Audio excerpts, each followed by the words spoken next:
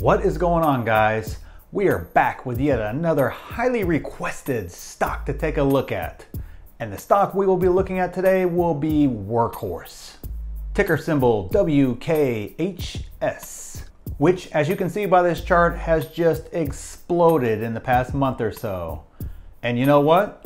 There's a huge move coming with this stock in the near future. With Tesla going parabolic, Buying Tesla now and 2xing or 3xing your money in a month is just not happening. Wait, I think. But can Workhorse give you a 2x or 3x return quickly, or is it just another pump and dump loser like this guy's company? I'll answer those questions and more for you right now.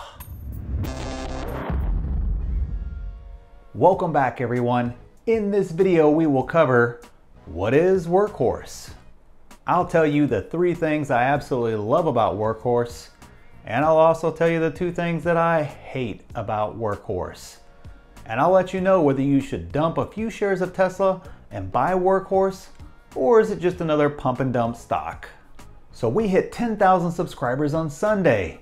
And yes, I sat there like a nerd and didn't eat dinner waiting for it to hit that number so I could grab a screenshot. This is all due to you guys keeping it frothy out there, so thank you very much. I'm truly humbled to say the least and this is just awesome. I can't say thanks enough. And if the comment section is right, I should be able to get a date now that I'm at 10,000 subscribers. So hit me up on Instagram or slide into my DMs. That, that's what you're supposed to say, right? Yeah? No? I don't know? Anyways, let's dive into Workhorse and figure out if we should buy this thing. So what is Workhorse? Workhorse is another EV stock on everyone's radar it seems. Kind of crazy how many of these stocks have been coming to market at the same time. I have a completely separate video on that coming out soon. But with Workhorse, it has already had a great run in the past month. But is there more to this company? Actually, they already get high marks just because I can actually pronounce their name and spell their name. Trust me, Hyliion took me forever to pronounce and it's still in my notes like this. Hi, Lee, on. Because if I just see the word, I have no idea how to say it properly. So A plus so far for Workhorse. So the first thing I love about Workhorse, they actually are producing vehicles and being used in the real world. Seems like that's kind of a commodity in this whole EV startup, tech, whatever boom we're in right now. And the biggest hurdle to every wannabe vehicle manufacturer is, you know, actually being able to produce a vehicle. Scaling is the next challenge after that, and then bringing the cost down to hopefully become profitable is the last big hurdle. So the fact that they are already producing vehicles and have many on the road right now means the concept is proven and being used. And they also have a factory in Indiana that will be able to produce up to 60,000 vehicles a year. So they do not need to worry about factory build out for a long time. So they can produce a vehicle, solving the first problem, and they have the factory capacity to scale, solving the second problem. Now they just need to solve the final problem, which is profitability. So outside of Tesla, they are further along than the other EV players in the market outside of NIO which is its own unique situation in and of itself that I covered in a previous video last week. So I'll link that video I did along with my thoughts on all the hot EV stocks so you don't have to find them. They will just pop up so you can get that information on whichever one you're interested in. I'll put them all up there for you. The second thing I love about Workhorse is their niche and their laser focus on that niche. Is it niche or niche? Public school, you say niche. Private school, you say niche. Workhorse seems to be doing something completely different altogether. Tesla is in the semi business, so is Nikola and Hyliion. Long haulers, big rigs that haul trailers and move them across the country. That's not what Workhorse does. They specialize in what they call last mile delivery vehicles, which to me just means, you know, the UPS or the Amazon truck or even the post office type vehicles. So who are the other EV players in this niche specifically? There aren't many, and I couldn't find any that were strictly EV and had a stock you could buy. Let me know down in the comments if you know of others, but I couldn't find any. And the third thing I love about Workhorse is their contract pipeline. Look, having big players is hugely important in these non-consumer type markets. So even though Tesla Semi and others may look cool or appeal to us individually, that really doesn't matter in this segment. You're not selling a $50,000 vehicle to one person. You're selling 1,000 vehicles to one company. So the hype we feel really is irrelevant to the reality of what moves these type vehicles. So look at this list of relationships they have already. Huge companies from UPS, Ryder, and maybe even the post office. They actually have a six year relationship with UPS and have been working with them for years on making their vehicles better, and I'm sure to give UPS exactly what they want. The hardest part in all of this is the customers, and they have some big players at least willing to entertain potential partnerships with them. They are also in the running for the big postal contract worth up to $6 billion or so, which to me would be the catalyst needed to turn them profitable. But more on that a little bit later. Now, not everything is perfect and all roses and sunshine. So let's talk about the two things I hate about Workhorse. The first thing I hate about Workhorse is they have a really weak balance sheet. As much as I love a lot of products of a particular company, this is stock trading. And unfortunately, you can have a great product and still not be a good stock because of the balance sheet. And looking at their balance sheet, it's just really weak. Specifically, their debt is just too high for my taste given their assets and revenue. As you can see right there, their debts are way larger than their assets. I mean a lot bigger. And I don't like their cash balance either. It's just not enough given the amount of burn they go through, which means they will need to raise more capital at some point in time if they want to continue to grow. And as we will see shortly, this doesn't look to be their strong suit.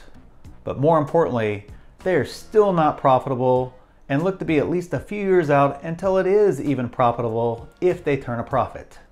Obviously that could change, but for now, profitability is still a ways out. And the second thing I don't love about this company, the run up was too quick and actually based on a poor debt raise. I've started noticing a pattern that has been happening with the latest hot stock on Robinhood or wherever. There is an explosive move up on good news, like Workhorse saw with a huge move up after it was announced that they are raising more capital. But looking at it more closely, the debt holders were the clear winners and the shareholders were the clear losers. Yes, I agree, capital raises are huge for a startup. But this raise allows debt holders to convert to equity or stockholders, which will dilute the shares even further. There were a couple other nuances in there too, but that's the main one that I took away. There is good capital raises and there is bad capital raises. And I don't really feel this was a good one. But the data from Robinhood seems to confirm the interest from the retail investor spiking huge. And I would say a good portion of those investors did not read the actual details of the capital raise. And honestly, those notes are not the easiest to read. They suck to read.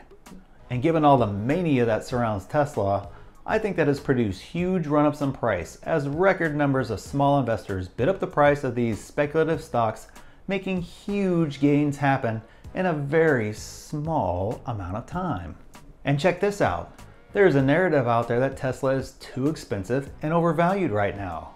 Slow down, slow down. I know there are some that feel it's undervalued or just right. But I don't think any of us would deny the fact that it's at least a little frothy. But looking at this chart, it looks like freaking Coca-Cola next to Workhorse. Look at that chart, it's just crazy. Yes, it's a speculative stock, but I did not expect to see that level of variance when compared to Tesla. That is a lot and says a lot about where the price of the stock is currently. So should you dump a few shares of Tesla and buy a Workhorse? Or is it just another pump and dump stock? I like the fact that despite the fact that the stock is speculative, they have been at it for a while, have an actual product, and have an actual factory to build it in. They also have relationships with some of the biggest players who would use their vehicles for their businesses, like UPS.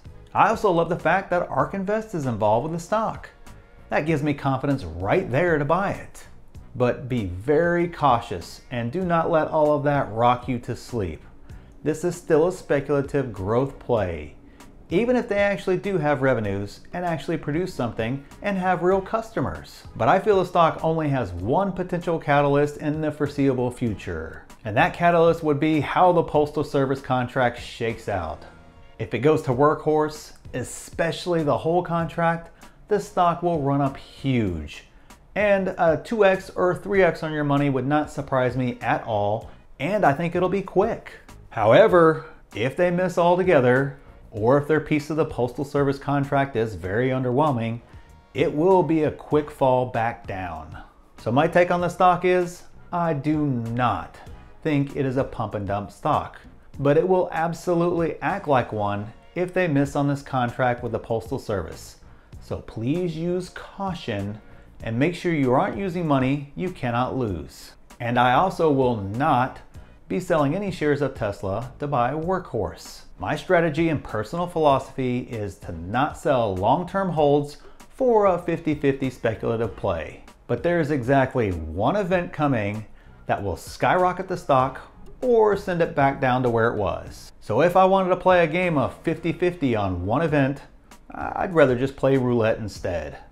Either way it falls, you know, like up or down in price, I will reevaluate the stock after the contract is sorted out and the hype dies down as I actually like the prospects long term and you know, it doesn't hurt that ARK Invest believes in them as well.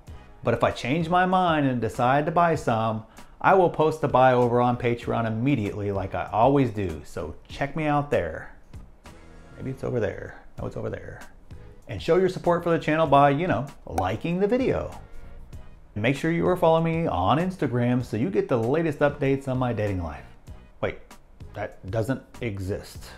Okay, updates on stocks. Yes, that's it. But I think it's going to be a crazy next few weeks. So make sure you are subscribed, which you can do right here, so you can get the truth on all the craziness.